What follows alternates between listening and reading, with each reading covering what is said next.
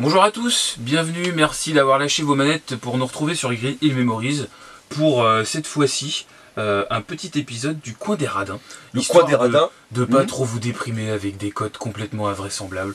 Ce coup-ci, on va montrer des jeux que vous pouvez acheter encore aujourd'hui. Des jeux sur. NES Oui, sur Nintendo, complets complet, Complet. voilà, à pas cher, Mhm. c'est Bon, possible. on, on a, on a déjà parlé de ces jeux-là lors de nos présentations oui, de oui, on les a déjà montrés, Hein on va les préciser un petit peu plus. Bah là voilà, on va revenir un peu plus en détail et surtout euh, voilà une sélection de 5 bons jeux Exactement. euh, qui ouais qui, qui raquent pas trop même Et encore Et aujourd'hui puis même si on les a déjà présentés, il y a aussi des gens qui découvrent la, la- la chaîne en ce moment Bah oui. et qui n'ont pas forcément envie d'aller regarder nos vieilles vidéos toutes pourries avec euh, définition de merde. Ouais, mais bon. Donc euh, là, ils vont le voir en HD. Voilà. Acheter, magnifique. Allez, générique.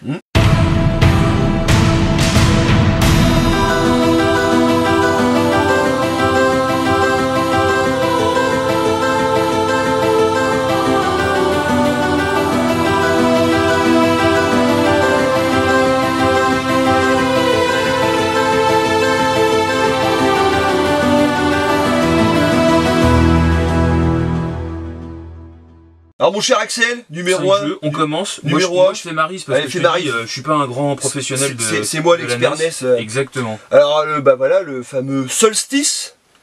Donc euh, sur NES, un jeu d'aventure en 3D isométrique. Édité par Bandai.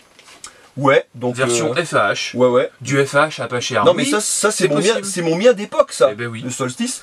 Alors le solstice, bon bah comme je disais, euh, jeu de, ouais, jeu de réflexion aventure en 3D isométrique. Mm, 3D isométrique. Alors ça. euh, donc euh, quand on arrive dedans, de prime abord, on se dit oula, qu'est-ce qu'il faut que je fasse? Où faut que j'aille? C'est hyper grand.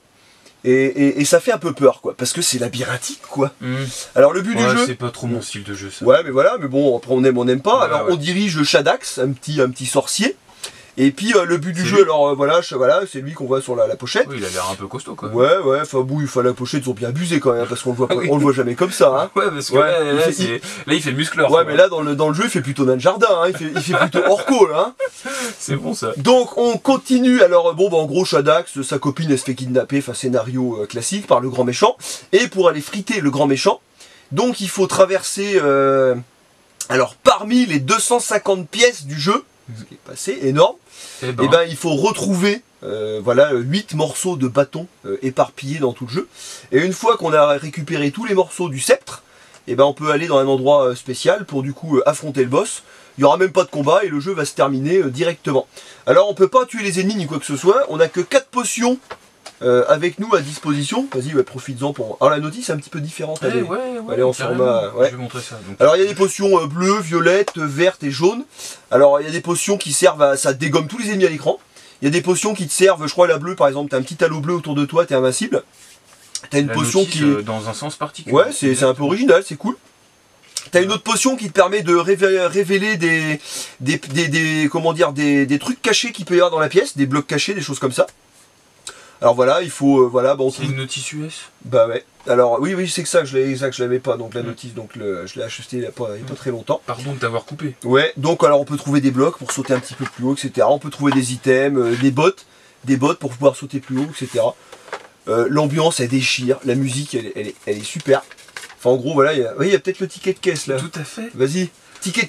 Ouais, vous, vous marquez que DGX il aime bien les tickets de caisse d'époque. Mais moi, je les avais. et T'as pas le prix, là les avoir dans une boîte, moi. T'as pas le prix toi Eh, si, si. Eh, eh, c'est des. C'est des francs. Bah, bah, C'est des... C'est des francs. C'est des francs. Et, euh, et donc, cassette jeux vidéo, 20 francs. 20 francs. Cassette jeux vidéo, 20 francs. Et cassette jeux vidéo, 10 francs. 10 francs. Donc, Donc, euh, il a fait une folie, il l'a payé 20 francs. Max. Max. Donc 20 francs qui pour euh, nos amis ça fait donc Bah, euh, 3 euros. 3 euros. Voilà. 3 euros. Bah Solstice, donc tu l'auras compris, un super jeu d'aventure sur NES, pas accessible à tous, Ouais, non, avec, euh, avec, une, avec une super ambiance, C'est particulier quand même. donc assez particulier, assez hardcore, hein. ça, pas de mot de passe, pas de, de sauvegarde ni quoi Ah, que donc ce soit, c'est du, du one shot quoi, tu es obligé de le finir d'un. c'est du one shot. Moi je précise, quand ouais, j'étais gamin, je le torchais en 15 minutes le jeu. Oh la vache. Ouais ouais, donc c'est à dire que quand tu le connais bien, chou, ça peut aller vite quoi. Ouais, sinon aujourd'hui il faut jouer avec des quick save sur émulateur quoi. Ouais bah oui voilà. Alors Voilà. sinon bah niveau tarif, alors ah, bah celui-là, bah, Ça, bon. ça vaut rien, voilà. Bah, attends, je regardais, on a noté un petit peu, bah une vingtaine d'euros ça. Vingtaine d'euros. Une vingtaine d'euros complet quoi. Voilà. Donc euh, moi franchement, dans toute ludothèque NES qui se respecte, Qu'est-ce que ça veut dire ça? Ça veut dire que bah, va falloir que tu me répares ça vite fait. Quoi. mais je t'ai dit, j'aimais Hein pas, moi, c'est pas Va- mon style de Va, jeu. va m'acheter ce solstice vilain. Oh mince Répare, répare-moi cette erreur. Ouais, mais je suis pas un expert en NES, moi j'ai des petits jeux, voilà. Allez, continuons. Qu'est-ce que c'est que ça? Allez. Oh, on a, on a un Schwarzenegger sur la couverture. Il est beau quand même, hein Ouais, un power, un power blade. Powerblad. Powerblad. Powerblad. Power blade. Donc on dirige, c'est un jeu, d'action plateforme, comme, comme il y en a plein sur NES, co- comme on les aime tant. Mm. Donc on dirige un personnage, alors on a plusieurs, au début on a un boomerang, donc on peut, euh, upgrader, ouais, le boomerang va aller plus vite, etc. Euh, Il y a plusieurs zones, il y a six secteurs de mémoire. Euh, je crois même que, si je dis pas de conneries, ça fait un moment que j'y ai pas joué, mais je crois même qu'on peut choisir l'ordre dans lequel on va faire les niveaux, un petit peu à l'instar d'un Megaman. Donc, euh, alors on peut récupérer euh, voilà, des power-up, etc. pour avoir des super armures même.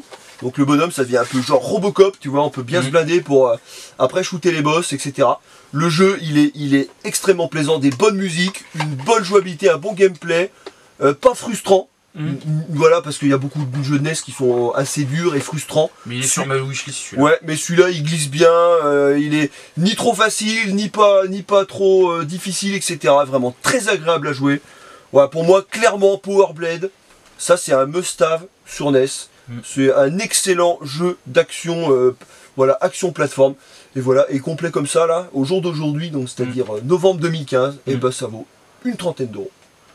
Oui, ça commence déjà à faire une somme, mais bon. Une petite à- somme, mais ça, on- voilà, Mm. pour la qualité du jeu, ça, ça reste quand même très correct. Ouais, voilà, puis des jeux à 30 balles sur NES, euh, il y en a de moins en moins. Hein. Complet en boîte, hein, je précise bien complet en boîte. hein. Bah oui, Ouais, oui. Pour ceux qui le veulent en Une loose, version euh, française. Hein. ouais, ceux qui le veulent en loose, c'est 10 euros Bah maximum. oui, hein. c'est 10 euros. Ouais. Guerrier du 22e siècle, après l'attaque de l'ordinateur pilote du Nouveau Monde par des extraterrestres, Soul Nova, le seigneur de l'anti-Powerblade, peut espérer se frayer un chemin jusqu'au centre de contrôle et reconstituer la base de données.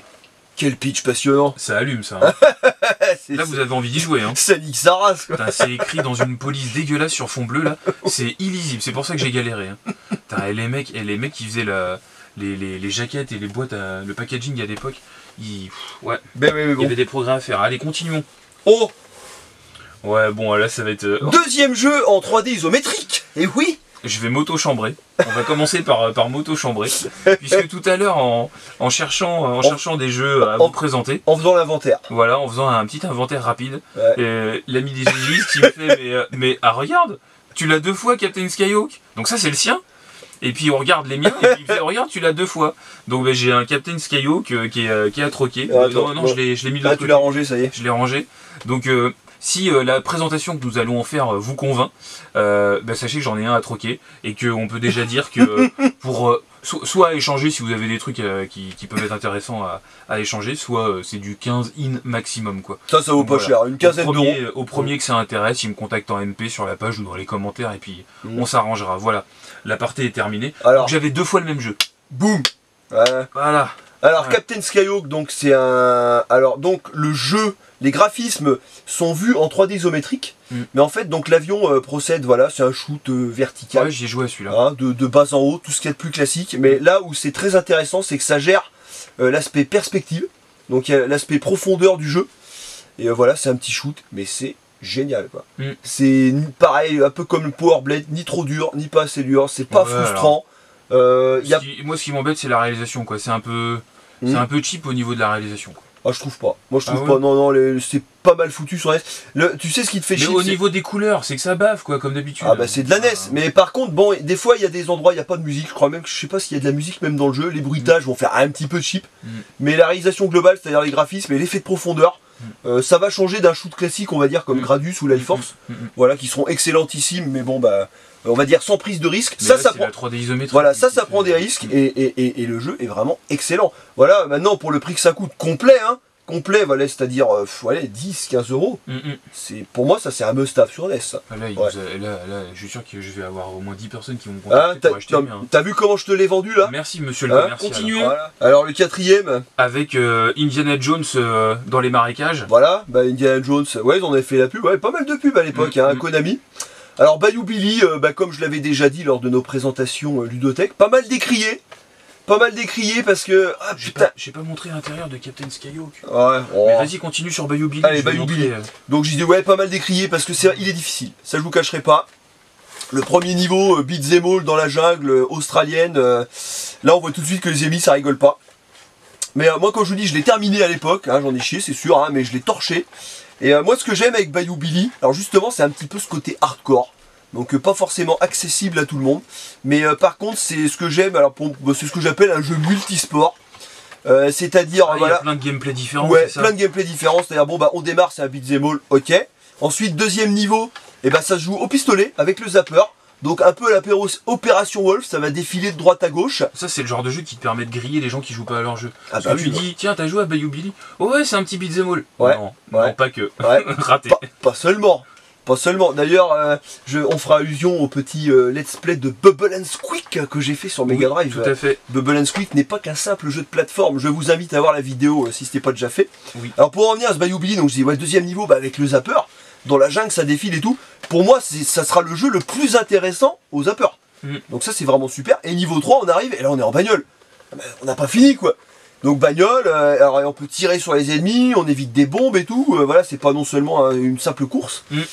Donc c'est vrai, multisport et c'est vraiment super. Les phases en zapper sont pas très dures. Les phases en voiture sont pas très dures non plus. C'est les phases en beat'em all qui sont. qui peuvent- voilà, refait Maryse. Les phases en beat'em all, je vous l'accorde, peuvent être un petit peu rébarbatives.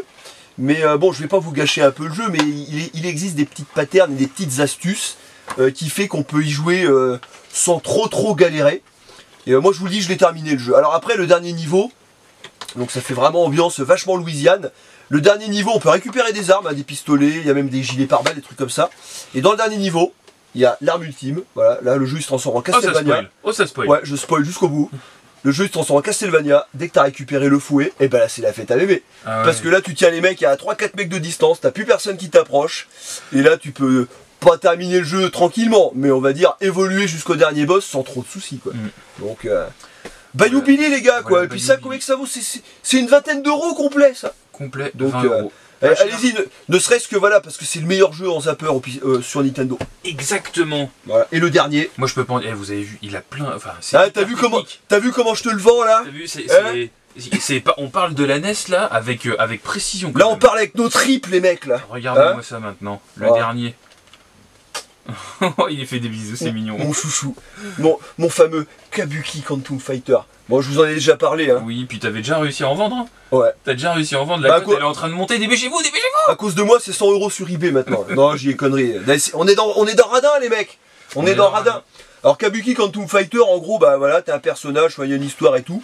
Je sais plus trop le, le- le scénario ou le pitch, et voilà, on se, retr- on se retrouve dans la matrice.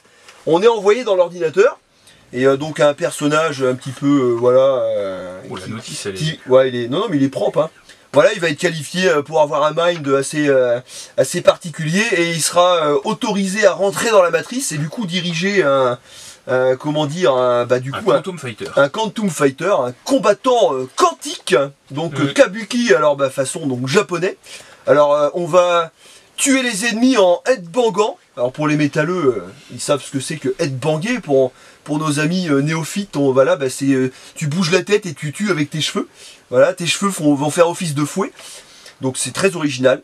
Le jeu est hyper bien ah, oui, réalisé. comme ça. Ouais, Ah oui, ouais voilà les. Kabuki. Mais oui, j'ai joué à ça. Les kabuki, et bah là bah, tu vas frapper avec tes cheveux. Le jeu est hyper bien réalisé, les graphismes ils déchirent, la mu- les musiques elles sont excellentes, Mm. ça colle hyper bien à l'action. Alors on a différentes armes, c'est-à-dire bon bah tu fais ton stage, c'est de la- l'action, t'avances, tu frappes, tu, tu- tu fais ton niveau tranquillement, t'évolues, t'arrives au boss, tu le tues, tu gagnes une nouvelle arme, Mm. t'as des petites barres de power-up bah, pour utiliser tes armes. Mm. Voilà, enfin tout, tout ce qu'il y a de plus classique, mais c'est tellement bien fait, Mm. c'est tellement agréable à jouer, il est pas trop difficile, on peut le terminer sans aucune frustration, sans prise de tête. L'animation elle est excellente quand on s'accroche, l'animation du coup de pied et tout. Ça c'est un putain de must-have Mm. sur NES. Voilà. Ah, il vous l'a bien vendu là. Que Des, jeux d'action plateforme, t'en as des caisses sur NES, mais le Kabuki. Quantum Fighter, pour moi il est sur le podium. Facile. Attends, on n'a pas dit le prix On n'a pas dit le prix. Bah si, t'as dit, il me semble que t'as dit 20 euros. T'en as pas Non, non, c'est une trentaine d'euros. Trentaine d'euros Ah non, j'ai confondu. Max. Pour moi. Mais euh, ça en loose c'est 10 euros maximum. hein. Voilà, petit résumé rapide. Allez, Solstice. Petit euh, tour du propriétaire, Solstice. Super jeu d'aventure 3D isométrique, super musique, super ambiance. Powerblade Power avec Blade. Schwarzy. Bon, voilà, un jeu d'action euh, quasiment incontournable. Je trouve ça, c'est voilà, du jeu classique comme on aime le voir sur NES. Captain Skyhawk, j'en ai un troqué. Voilà, avec euh, bah, petit shoot en 3D isométrique euh, vertical. Donc euh, pas, pas forcément... on l'attendait pas sur NES, mais une bonne petite surprise au final. Bayou Billy. Bayou Billy, donc euh, bah, excellent. hein. The Adventures of Bayou Billy. Ouais, ouais. Non, non, euh, ne vous fiez pas éventuellement à ce que vous pouvez lire ou voir dans d'autres vidéos. Bah, c'est vrai que moi j'avais joué Mm. quand j'étais plus, plus jeune et euh, Mm. j'avais pas forcément trop trop accroché quoi. Non, mais le truc, c'est que avec l'aspect rébarbatif euh, du niveau 1, euh, parce que c'est difficile, beaucoup vont dire c'est une merde. Non, Mm. je suis pas d'accord. Le jeu, c'est pas une merde. Mm. Loin de là. C'est juste qu'il faut s'accrocher, il faut passer, il faut persévérer. Et le jeu, il est super. Moi, je vous le dis. Et puis la petite pépite. Bah, le pit, voilà. Le coup de cœur de DGX, le Kabuki Quantum Fighter que tu possèdes une NES, tu l'as pas Non, mais vas-y, quoi. Vas-y. Mais tout de suite, T'attends quoi T'attends quoi, là Bah, Allez Moi je vais me faire tacler parce que je l'ai pas. moi. Bah oui. Range-moi ça. Bah tiens, on va le ranger avec mes jeux. Ceci termine cet épisode du coin des radins. On espère que ça vous aura plu. Bah oui, bah n'hésitez pas, voilà, comme d'habitude. À hein. nous donner votre Mm. avis, à nous mettre un petit pouce bleu, ça fait plaisir. Voilà. Exact- Exactement. hein. Et puis euh, c'est à peu près tout pour cette fois. Voilà, et puis bah, on aura le plaisir de vous retrouver sur Green Hill Memories Pour, pour, de euh, prochaines vidéos, d'autres vidéos. coins des radins, plein Mm. de choses, plein de choses, plein de choses. Voilà. Vous pouvez retourner jouer à la console. Voilà. Allez, ciao Salut